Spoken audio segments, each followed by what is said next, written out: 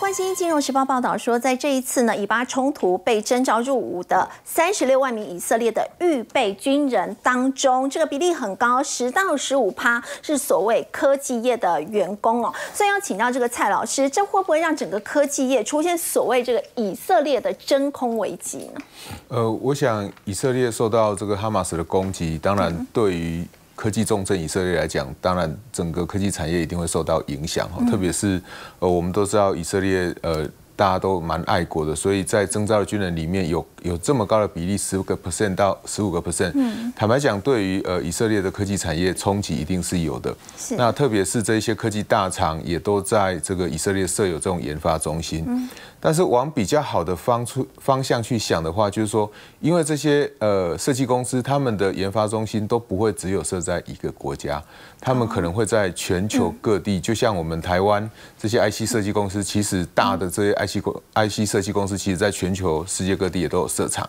所以他们在每一个地方都有设厂的时候，他们要去调配他们的一个业务的时候，我想这个调配的呃能力是比较高的，它跟科技跟这个工厂。要移动跟供应链的这个转移其实是不太一样的，所以呃，我会觉得就是说，当以色列一旦受到这个呃战争的这个威胁的时候，就整体的区域风险来看，一旦时间拉长，对全球的影响还是会有的。最大影响来自于说，一旦有战争，对全球的经济一定都不好。嗯，当全球的经济都不好，然后物价又开始往上涨的压力的时候，那美国的这个联总会要降息的可能当然就会更低了。那一旦美国这个联总会降息的可能性更低，那整体的经济呃就会面临这种呃高利率的一个风险，当然就会更大。